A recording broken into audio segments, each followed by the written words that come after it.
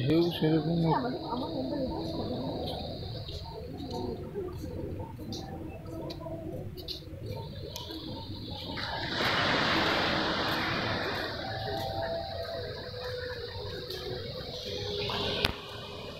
এবার আমি চশমা পরে ফটো তুলবেন